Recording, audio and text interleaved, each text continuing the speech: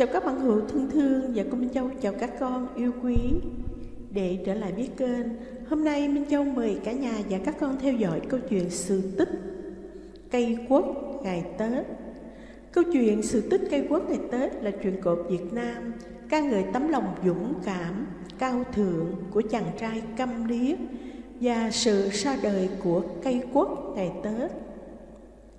Bỏ qua mặc cảm câm điếc, quốc giỏi đã dũng cảm xông pha diệt giặc cứu nước và dùng ngay phần thưởng của mình để xóa tan băng giá, đem lại sự bình yên cho mọi người. Đó cũng chính là lòng cao thượng của một anh hùng. Câu chuyện cây quất ngày Tết đã được Minh Châu đăng ký bản quyền với DMCA qua link Thế giới cổ tích Việt Nam kho tàng truyện dân gian. Minh Châu mời cả nhà và các con cùng theo dõi câu chuyện với Minh Châu nhé. Câu chuyện được bắt đầu từ quốc giỏi vào kinh thành. Ngày xưa, có ba người bạn nhỏ chơi rất thân với nhau. Thư thì thích đọc sách ngâm thơ, Mộc ham trồng cây hái cỏ. Quân mãi xem đánh giỏ múa đao, nhưng không may mắn như các bạn Quân vừa bị câm, lại vừa bị điếc. Tay chân quân nhanh nhẹn như nói được thành lời. Xem người múa đao đánh võ, Quân về nhà cũng tập đánh võ múa đao. Ngày ngày, cha mẹ quân lên sườn để đốn củi. Quân cầm roi đánh đau lên, kéo củi về nhà. Không có dao, quân cầm roi múa đánh suốt ngày, không biết chán. Quân lớn nhanh hơn hai bạn. Người to cao và khỏe mạnh ít ai bị được.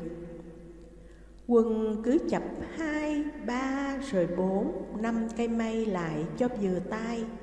Cân sức để tập luyện. Ngọn roi của quân mỗi lần múa lại vù vù như bão nổi.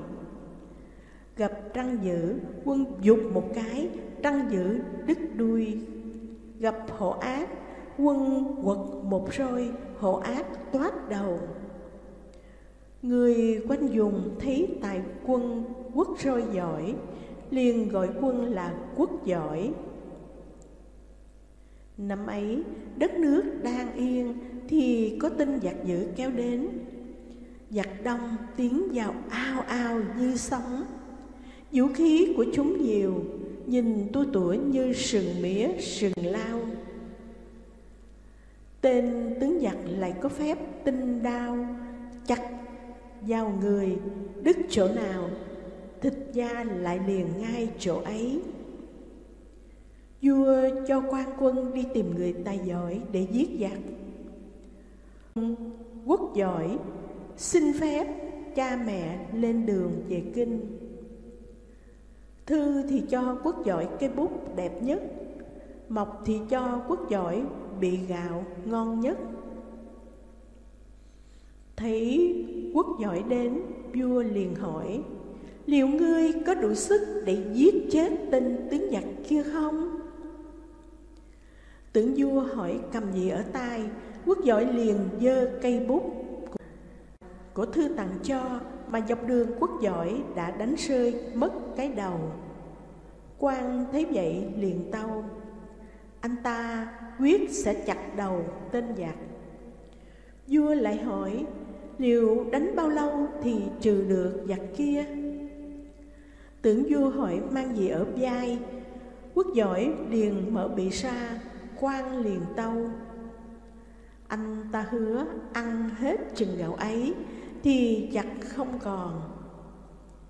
Vua hỏi thêm Dẹp giặt xong, ngươi muốn ta thưởng gì cho xứng đáng? Tưởng vua hỏi kiếm đâu? Quốc giỏi liền dơ ngang cây sôi mây to lớn đang cầm ở tay. Ngọn cây roi chỉ vào một cây chanh đầy quả, quan liền tâu. Tâu bệ hạ, chắc anh ta biết bệ hạ có cây chanh quả bằng vàng, nên có ý xin chăng? Vua gật đầu, được, ta sẽ không tiếc gì với ngươi cả. Nói về sự tích cây quất ngày Tết. Quốc giỏi sa hiệu xin vua đúc ngay cho anh một cây roi sắt ba cạnh, Nhỏ như cây mây, nhưng dài bằng cây tre. Quốc giỏi cầm roi sắt cưỡi voi ra trận Tên tướng giặc cũng vừa cưỡi voi kéo quân đến sát kinh thành Vừa thấy quốc giỏi, tên tướng giặc đã cười khẩy víu sâu. Chú nhảy, định cầm roi đến phủi bụi áo giáp ta đó à. Hắn chưa dứt lời, đường roi của quốc giỏi đã xít lên nghe lạnh gái. Một bên hông của tên giặc bị rách toát, nhưng trong nháy mắt thịt da hắn đã lại kính liền lại.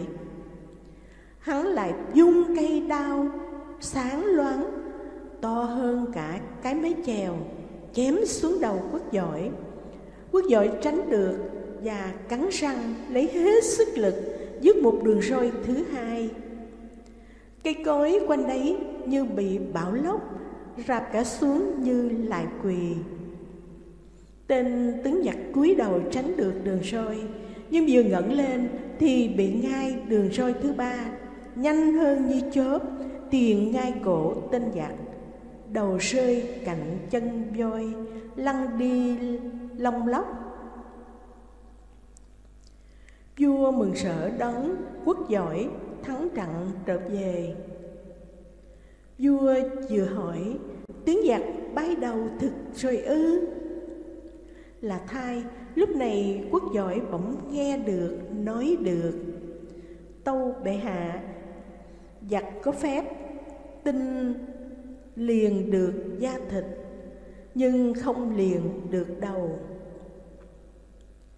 Vua liền thưởng cho quốc giỏi cây chanh quý lóng lánh quả bằng vàng và bảo muốn lấy vàng thì hái quả muốn xua xét gọi nắng thì bẻ cành trồng xuống đất sâu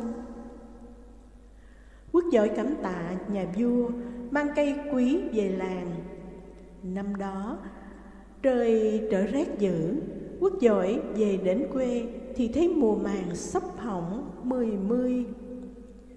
Thư thì đang ốm vì chịu rét không nổi, Mộc thì đang âu sầu vì cây cối. Mộc trồng đều sắp chết đến nơi, không ngần ngại. Quốc giỏi liền bẻ từng cành cây chanh vàng cắm sâu xuống đất cái rét bỗng tan đi mây mù biến mất sáng ra lại thấy mặt trời trở về rực rỡ vui tươi người người khỏe lại cây cỏ đâm chồi, chim chóc liếu lo. Bà con khắp nơi mừng sở lạ lùng.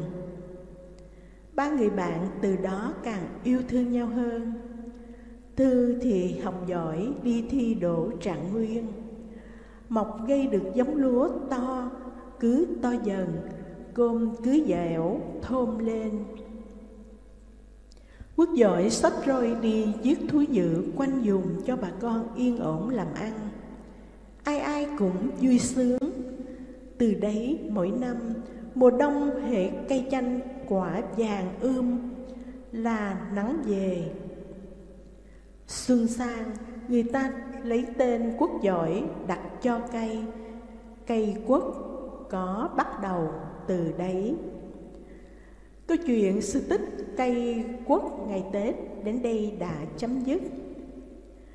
Nói về đôi nét về cây quốc Cây quốc có danh pháp khoa học thuộc chi cam chanh đây là một loài thực vật thân gỗ cao từ 1 đến 1,5 mét. Thân cây dẻo dai, có vỏ màu xám và có nhiều nhánh mọc hướng xung quanh. Trên thân cây gai nhọn mọc dài, quả hình tròn. Khi còn non, quả quất xanh đậm và dần chuyển sang màu vàng cam khi chín. Quả quất thường trồng làm cây cảnh mỗi dịp xuân về với ý nghĩa tượng trưng cho sự may mắn, tài lộc đầu năm. Cách trang trí cây quất ngày Tết cũng khá phong phú và mang nét đặc trưng của vùng miền. Trong đông y, cây quất dùng như một vị thuốc chữa các chứng bệnh lạnh gây ra như viêm họng, lạnh bụng, cảm, vân vân và vân vân. Theo truyện dân gian Việt Nam, nguồn gốc của loài cây này được kể lại qua qua chuyện sự tích của cây quất kể trên. Minh Châu cảm ơn cả nhà đã lắng nghe câu chuyện. Nếu thấy câu chuyện hay thì hãy bấm like, share và subscribe cho Minh Châu xin một like để Minh Châu có tinh thần làm tiếp video cho cả nhà nghe nhé. Trước khi dứt lời, mùa xuân vẫn còn ở trên đất nước Việt Nam. Minh Châu chúc cho cả nhà chúng ta có nhiều sức khỏe, an bình, hạnh phúc, an khang, thịnh vượng. Một năm phát tài, phát lộc, nhiều phước lộc thọ, dạng sự như ý. Và hy vọng là cơn bệnh dịch sớm qua nhanh để mọi người ổn định lại công ăn việc làm, gia đình an vui hạnh phúc. Minh Châu cũng chúc cho các con khỏe mạnh, chăm ngoan, học giỏi, biết nghe lời ông bà, cha mẹ, thầy cô. Ok, video của Minh Châu đến đây xin tạm dừng. Hẹn gặp lại video kế tiếp. Bye bye cả nhà.